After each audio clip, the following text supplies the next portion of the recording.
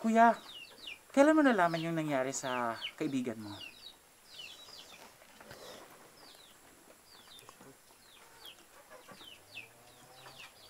Anong oras kagabi?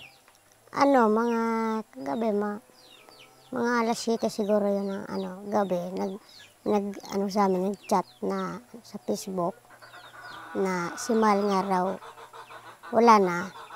Tapos ako naman, hindi naman ako naniniwala. Sabi ko, wala naman dumarating sa akin na ano. Tapos lahat ng mga ano, kachat ko, nagtatanong sila, totoo ba ganito? Huwag maniwala kayo dyan. Fake news lang yan. Kasi ito, nalaman ko ngayon sa sa nagbo-vlog sa akin dati dito na totoo nga talagang nag tinanong ko rin siya kung saan niya nakuha yung balita na yon tapos sabi niya sa ano dun sa kuha nag ano na raw kasi yung kapatid ni Mahal na si Irene Nag-post. nag-post na si Mahal binawian ng buhay Mhm. ganon So, nung nakumpirma mo na totoo nga yung balita, mm ano yung pumasok sa isip mo? nabigla rin ako kasi hindi, hindi ko rin maisip na ganun mangyayari sa kanya. Lakas-lakas nung pumunta dito. Mhm. Ayun. Hindi ko alam kung paano ko paniniwalaan yun. Mhm. Bigla eh. Mhm. Hindi ko alam kung anong pakiramdam, di ba? Ang saya-saya namin dito nun. eh. Nung nandito kayo, nandito si Mahal, na may napansin ka ba sa kanya kakaiba na parang namamaalam? Parang ganun nga yung ano niya sa akin kasi nung paalis na sila nung umaga nun eh.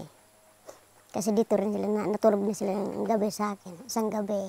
Tapos nung kinaumagahan, yung binigyan niya ng mga grocery, tapos sinabi niya sa akin, huwag kang mag-alala, ano, mura, kahit ano, pasensya mo nitong kuting tulong ko, pero kahit matanda na ako, sabi nga niya, kahit wala na ako,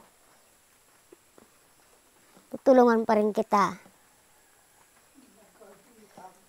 Parang kakaiba, di ba? Parang, su- parang yung namamaalam ka sa akin na ganun. Dinaan lang namin sa biro-biro yon.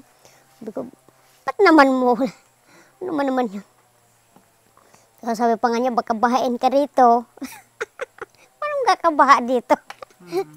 Sabi yun ang naalala kong sinabi niya sa akin, parang yung kahit na wala na siya, tapos parang may darating pa daw sa akin tulong na gano'n. Hindi ko na pasok sa ano ko, loob ko na, yun na pala yung huli namin. Huli namin magkikita.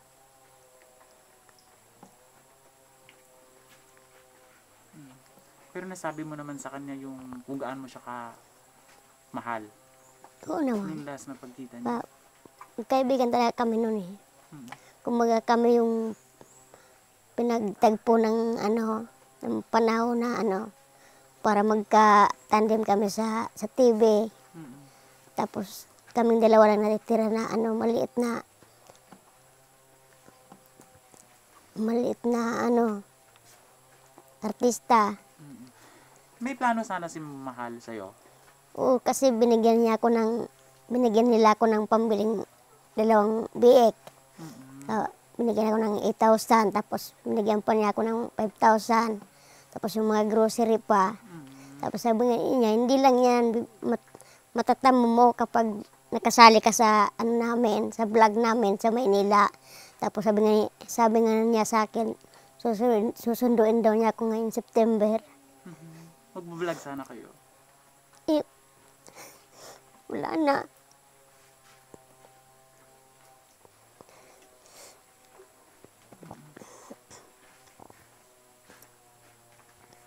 Mag-vlog sana kayo.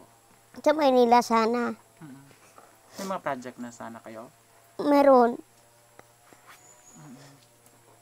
Meron nga sana kami gagawin ano, pelikula eh. Hindi ko pa talaga siya nakasama sa pelikula. Sa mga ano lang, mga gag show lang sa TV. Nakasama ko siya. Pero sa pelikula, never ko pa man talaga siya nakasama. gusto sabihin mo sa kanya ngayon? Mahal.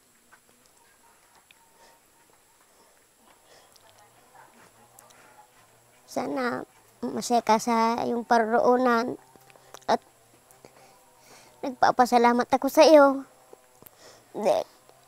Pinuntahan mo ako dito. Binigyan mo ako ng tulong.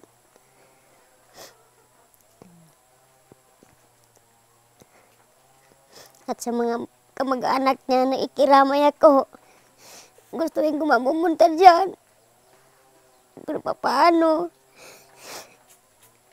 Nahirap ngayon eh. Pasensya na po kayo. Patay na rin yung tatay niya. Yung ate niya na lang siguro yung mga kapatid niyang lalaki. Yun lang. Ikiramay po ako sa inyong lahat. Pasensya na kayo kung hindi ako makakapunta.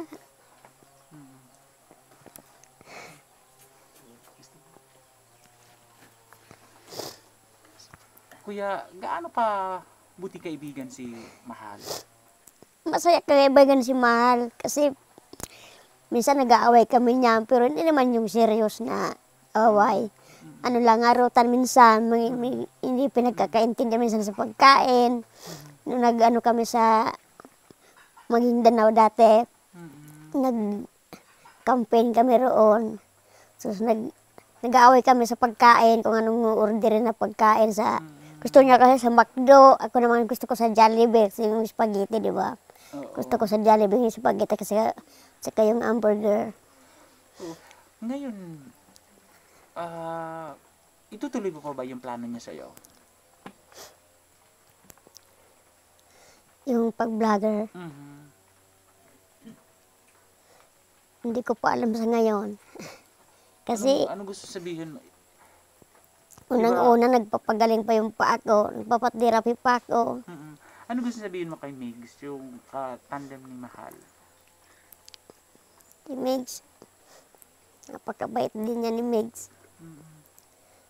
Silang dalawa ni Mal nagbigay sa akin ng pambili ng baboy. Sabi pa nga ni Mahal, pangalanan ko daw ng mahalay yung baboy na bibilin ko eh. Pangalanan mo nga pare, mahalay. Sabi mo ano yung panapili mong pangalan. Sana patuloy pa rin niya yung gawain niya yung dalawa ni Mahal kahit wala na siyang tandem.